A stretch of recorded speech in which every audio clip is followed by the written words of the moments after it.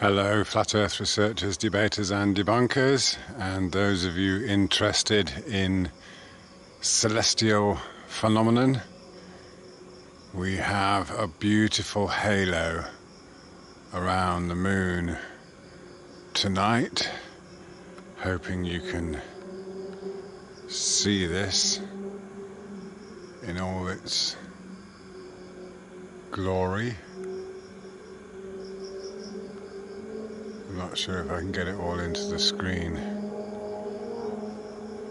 This is being filmed from Phuket, Thailand, at about 2 2:30 in the morning, 2:30 a.m. So hopefully you're seeing this. It's quite spectacular. What's interesting is that as soon as I try to zoom on in on it without of course you don't get the edge when you don't see the light.